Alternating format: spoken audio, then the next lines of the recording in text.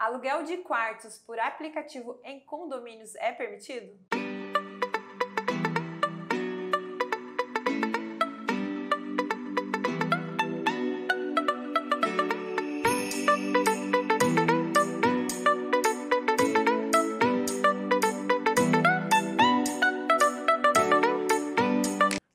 Sobre locação de quartos por aplicativo em condomínios. A nossa convidada especial hoje é a doutora Morgana Chanal, advogada da área condominial, com esse assunto polêmico. Muito bem-vindo, Morgana. Oi, Miriam, tudo bem? Oi, pessoal de casa. Mais uma vez, obrigada pelo convite. Fazia tempo que não, guardava, não gravava aqui com vocês, né? É, fazia tempo. Agora, a Morgana, inclusive, agora vai voltar com tudo aí, trazendo sempre vamos novidades, voltar. assunto polêmico aí. É, é, vamos falar de polêmica, né? Essa... Locação de temporada e aplicativos. E aplicativo. Aluguel de quartos, especificamente. O que está acontecendo, Morgana? Então, locação de temporada por aplicativo é sempre um tema polêmico para os nossos condomínios, né? E esse caso em particular é algo bem assim chamou a atenção, então coloquei a sugestão para a gente falar sobre. É um condomínio em Florianópolis, né, na capital, que o condomínio proprietário resolveu é, fracionar ali a, a, casa dele, né, uma parte da casa dele. Condomínio fez um, de lotes. De casa, de casa, né? De casa. Ele fez ali um loft, um estúdio, né? Fez um aparte hotel. Ele continua morando e um pedacinho ali, uma fração da propriedade dele, ele aluga por aplicativos, por Airbnb ou outras plataformas. Né? Mas é só um pedaço, não é a casa inteira, é só um pedaço. E isso, logicamente, trouxe um incômodo para os demais moradores e foi parar na justiça. Com certeza, né? A gente está falando de segurança, é, o, Sossego, tranquilidade, rotatividade. Manutenções. Né? Isso gera alta rotatividade, gera ali um custo, né? De manutenção, aumenta a manutenção do condomínio, traz vulnerabilidade na segurança, né? Traz um gasto a mais nos acessos, né? Do condomínio, controle de acesso. Então, o condomínio, incomodado com essa situação, levou para uma assembleia para discutir sobre, para regulamentar essa prática e proibir né, para proibir isso dentro do condomínio. Proibiram, votaram em assembleia, proibiram regulamentar o regimento interno, complementando a convenção, notificar o condômino para ele parar teve, com aquela prática. Todo um processo. Todo um processo. Simples, né? Exato. Todo um processo interno do condomínio.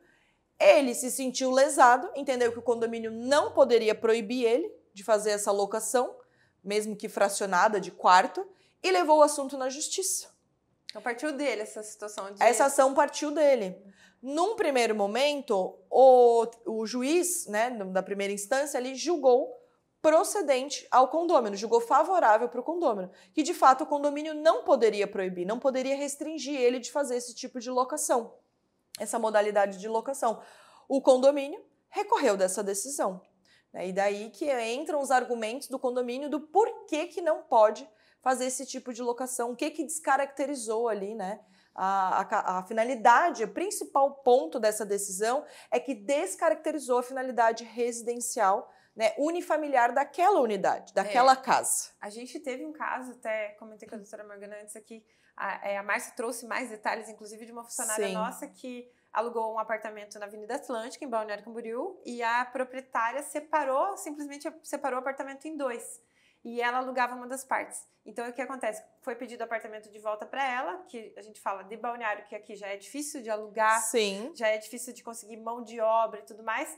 E, além de tudo, e aí, como é que fica a pessoa para procurar apartamento nessa altura do campeonato? Na Avenida Atlântica, inclusive, né? Já é Sim. é difícil de achar, mas simplesmente se separou o apartamento em dois. É, e esse caso, pelo que eu conversei com a Márcia, não é dividir um aluguel em duas pessoas. Ah, eu e a Miriam vamos dividir um apartamento. Não a proprietária, ela fracionou, ela dividiu mesmo fisicamente o um apartamento em duas dois, cozinha, duas, duas unidades, ah. independ... um apartamento que se transformou em dois, transformou um único apartamento em duas unidades independentes, duas cozinhas, duas salas, quartos, um acessos separados com duas portas, né? Isso. A gente até ficou curiosa como que o condomínio não adotou nenhuma medida, né, legal ou judicial nessa situação porque parece que o condomínio fez vista, não fez é, vista grossa, né? demora às vezes para entender, né, a configuração. Tá Exatamente.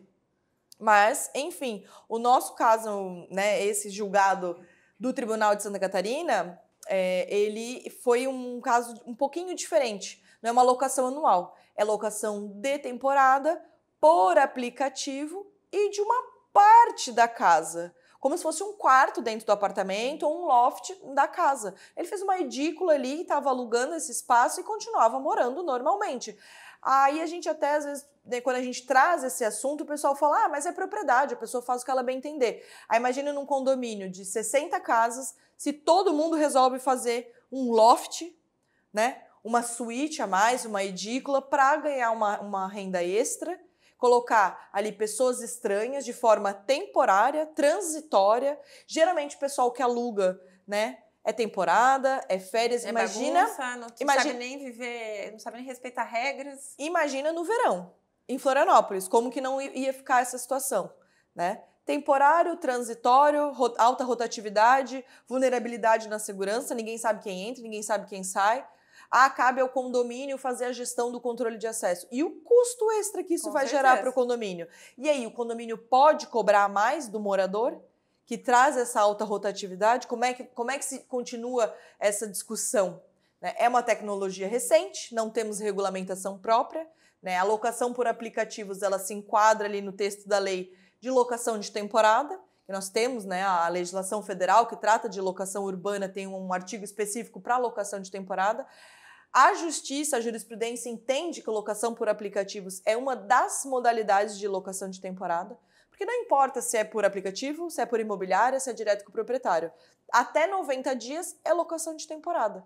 Mas uma coisa da locação de temporada, que as pessoas quando locam não se atentam, que a própria lei define que ela tem caráter residencial. Mesmo sendo de temporada, você aluga um espaço inteiro com a finalidade de ele substituir temporariamente a sua residência. Então é um espaço inteiro, não é um quarto, Sim. não é uma suíte, não é um loft, não é um estúdio dentro de um condomínio. E foi vetado. Aí que a gente vai discutir. O que, que a justiça entendeu? Que apesar de, de o condomínio ter feito uma assembleia, fizeram uma assembleia, é, regulamentar isso no regimento interno, a justiça entendeu o quê? Era matéria de convenção. Primeiro ponto que o condomínio que quer proibir tem que se atentar. Tem que se atualizar. Tem que se atualizar. É matéria de convenção. É direito de propriedade. Para proibir, para restringir, tem que mudar lá a convenção do condomínio. A gente tem um quórum qualificado.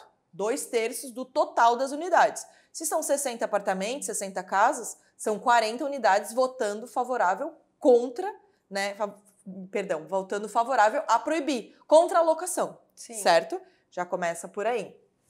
Então, o condomínio, apesar daquele caso específico não ter atingido esse quórum, a justiça entendeu que ele estava regulamentando o regimento interno em complementação à convenção, porque a convenção originária do condomínio já estava trazendo especificamente em algum artigo ali do texto dela que era proibido aos condôminos proprietários fracionar a sua unidade, que era proibido locar, ceder né? Ou vender parte da sua unidade. Então, quando ele entrou lá atrás é, com a ação, ele nem leu isso. Ele não se atentou a essa atentou. situação, ele só focou na proibição de locação de temporada. Então, apesar de, de, o tribunal ter entendido que a locação de temporada não estava proibida, porque ela, inclusive, ela, uh, o entendimento é que o condomínio não poderia restringir, salvo se comprovar, no caso concreto, que aquilo ali traz um risco à segurança, a tranquilidade ou a salubridade do condomínio. E, no caso, os três. Esse, não, nesse caso, os três. E além disso, a própria convenção já estava trazendo a questão de proibido fracionar a sua unidade. E o regimento só regulamentou isso. Então, essa Assembleia só Sim. regulamentou algo que já tinha previsão. E, né, conciliando com a jurisprudência do STJ, que já julgou dois casos específicos, inclusive um muito parecido com, com esse caso de Floripa, que é um caso lá de Porto Alegre, que a proprietária pegou um apartamento dela e dividiu em cinco quartos. Ela fez. Essa foi além.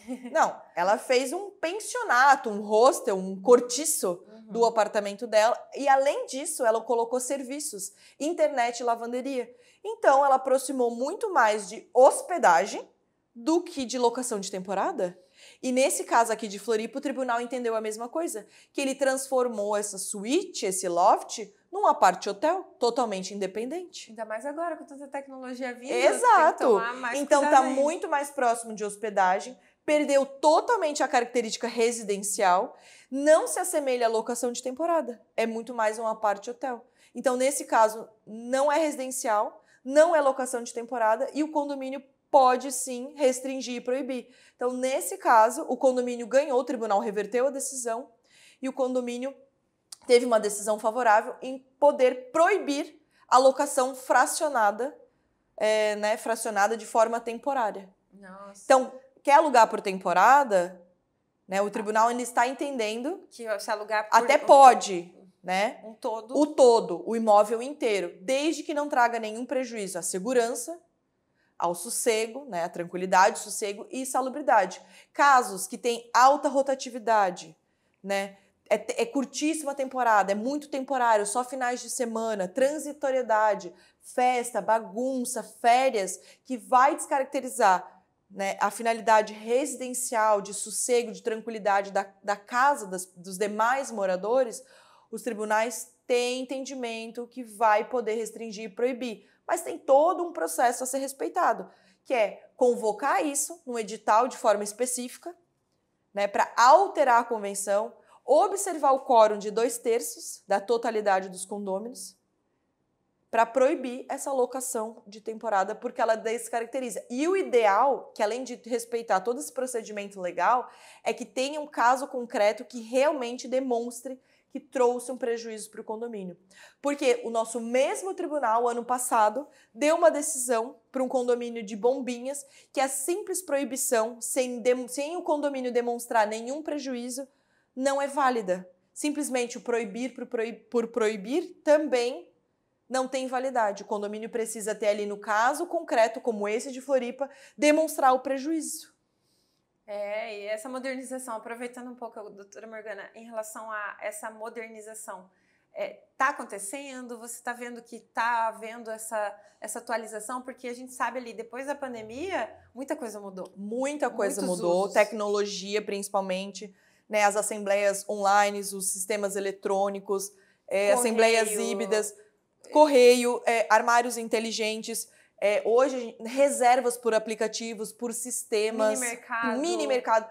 Muitas, muitas comodidades, amenidades para os condomínios, né? Então, nem todos os condomínios estão assim, é, como nós podemos dizer. Atualizados? Atualizados ou se dedicando a essa modernização. E nem sempre é falta de vontade dos síndicos. Muitos acham um processo muito dificultoso aprovar Reunir, é, reunir os condôminos e aprovar né, essas alterações de convenção. Regimento interno é um pouco mais simples, né? Para os condomínios que já estão mais atualizados na legislação, a gente consegue alterar o regimento com a maioria dos presentes em assembleia, mas o nosso problema principal segue sendo modernizar, modernizar. a convenção né? Que exige um, um quórum melhor. Mas existem formas de fazer. E, e, eu vejo assim, ó, isso sabe que acaba refletindo em, em, várias situações dentro do condomínio, né? Até da sustentabilidade no sentido econômico, muito, né? Muito. A gente traz uma visão, por exemplo, do Master Plan, que é um planejamento estratégico, visão de longo prazo, 10, 20, 30, 40, 50 anos, até onde vai, né? E muitas situações ali na questão da, da, da convenção, quando ele não é modernizado. Então, assim, fica aquela dica de não esperar só a Assembleia, o próximo a Assembleia fazer o tempo todo a usa o forms mesmo ali do Google para fazer pesquisa, sim, sim. porque a gente sente que muitas situações assim, ah, eu quero fazer o roda entrada, mas com base em quê? Se tem outra emergência, muitas vezes um projeto de reestruturação é um, é um, é um projeto jurídico, é um projeto Sim, financeiro. Exatamente. Nem sempre vai ser engenharia, é um arquitetura. Planejamento. É um planejamento. É, o que a gente vê é que ainda os condomínios não são encarados nem como empresas, que você está gerindo o patrimônio alheio, e deveriam, deveriam ser geridos e fiscalizados como administração pública. Exatamente. Principalmente na contratação de empresas, de grandes obras. Transparência. Transparência, publicidade, compliance, compliance boa, eh, boa governança. Né? Exatamente. Né? Atos de governança e, e o planejamento, Miriam, o master plan, que é o planejamento a curto, médio e longo prazo, ele vai fazer um diferencial muito grande. Por quê? Trocou a gestão, mas o condomínio tem um planejamento tem um sólido. É, né? exatamente. Para seguir. E a modernização das normas internas está dentro disso. Tá dentro tem disso. que fazer tem que fazer parte disso, até porque a modernização, ela não é para esse ano de 2024. A modernização a gente tem que pensar a longo prazo, de 5 a 10 anos, porque o direito vai demorar para sofrer um processo de atualização. O nosso Código Civil atual, ele é de 2002. Então ele está 21 anos vigente e a gente está a, a lei de locação urbana que a gente está falando aqui de locação de temporada é de 91. Nossa. Entende? Sim. Então, a primeira vida acontece e depois o direito vai se atualizar. Só que nos condomínios a gente tem uma vantagem, que é modernizar nossas normas internas, independente da legislação, a gente pode fazer esse processo. Contratar uma boa assessoria jurídica especializada em direito condominial, advogados da confiança do síndico, do condomínio, ali da gestão. Né, fazer, fazer esse processo de modernização ser do interesse dos condôminos, dinamizar, como você colocou, informativos, grupos de WhatsApp, sistema, aplicativos das administradoras, a gente tem diversos sistemas de exposição. É, a internet veio aí para revolucionar, para modernizar, para dinamizar, né? Tornar a informação mais acessível, transparente, dinâmica, é rápida, mas tem que ser rápida também para as coisas certas. Exatamente. Né? E tá vindo, a tecnologia tá vindo, tende, né? A, a intenção é ajudar, mas trazer essa.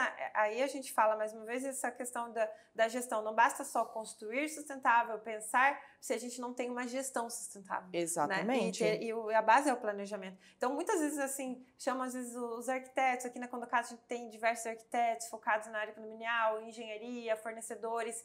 E aí a gente fala, vamos pensar no longo prazo? Sim. Né? Porque agora, assim, Sim. assim, é sempre apagando fogo. Ah, preciso da Eu ia falar isso. A falta de planejamento da gestão, ou às vezes condomínios onde o síndico fica engessado de fazer um planejamento, ele tá, é aquele condomínio, é aquele síndico que ele tá sempre apagando e, incêndio. E, inseguro também. E inseguro. E de braços atados para fazer uma boa gestão, um planejamento, porque a, a gestão além de sustentável, ela tem que ser inteligente e assertiva. Exatamente. E, e celery, e ela tem. E, e pensar num condomínio como uma empresa. Se a tua empresa não ela só funciona com o dono ali dentro, ela não funciona.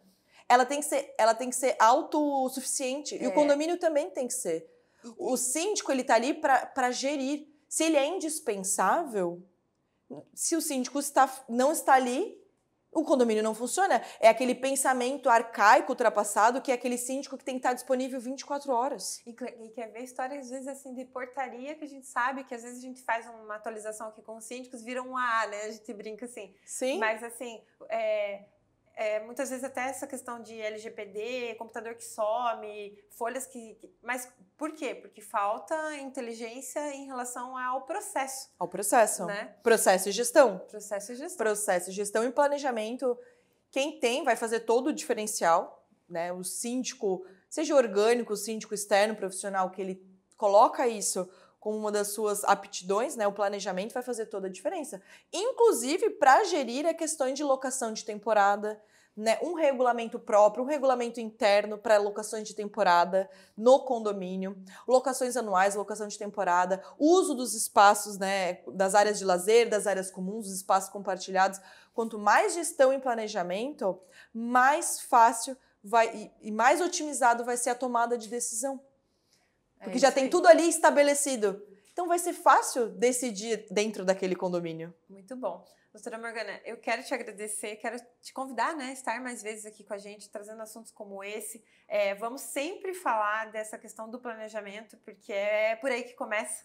Né? A gente chega ali às vezes, ah, mas eu não tenho dinheiro para. Mas por quê? Vamos ver. A esquadria vai mudar daqui 10 anos, mas a gente já sabe que vai ser. Ah, a estação do veículo elétrico agora está sendo né, essa dúvida e pode, não pode, mas será que até a cidade está preparada? Não está? Né? E a falta de regulamentação, mais... que agora a gente vai começar, a gente vai ter um pouco de regulamentação, né? Pela Celesc, pelos bombeiros, mas isso também, querendo ou não, isso também reflete na locação de temporada. Porque vem pessoas de fora vem. com carros elétricos vem. e querem essa comodidade no condomínio, um carregador elétrico. E é isso mesmo. E tudo está atrelado aí a uma boa equipe, uma equipe multidisciplinar, uma boa assessoria jurídica, uma boa assessoria técnica com arquitetos e engenheiros. engenheiros. E excelentes funcionários e bo boas empresas, né? Bons prestadores de serviço aí. É. Tudo isso junto com, né, com um síndico atualizado, capacitado. Até porque a tecnologia vem para conseguir, muitas vezes o síndico quer ser profissional no sentido de ter mais condomínios. E, e otimizar o tempo. Otimizar o tempo, é, é isso aí. E a gente está falando aqui da Condo Casa, Balneário Camboriú, a gente tem mais de 100 soluções inteligentes e a área jurídica também é uma área que traz bastante inteligência para a gente e tranquilidade, doutora Morgana. Que bom, fico é. feliz e a gente vê que realmente faz diferença, né? Um condomínio que tem e faz diferença. Nós temos excelentes profissionais do mercado aqui na nossa região, uma região que se destaca o mercado condominial. Sim. Né? Nós temos profissionais muito capacitados e realmente o condomínio que tem assessoria jurídica, ele tem um diferencial isso. Assim como o condomínio tem uma equipe técnica também, né, Miriam? Sim, o síndico fica mais tranquilo, né? Com certeza. E é isso aí. Quero te agradecer. Obrigada agradecer. a vocês mais uma vez pelo convite. A gente falou mais uma vez de Airbnb, acho que a gente já falou diversas vezes de Airbnb, mas sempre tem um caso recente para a gente estar tá conversando sobre, né? Sim, sempre tem.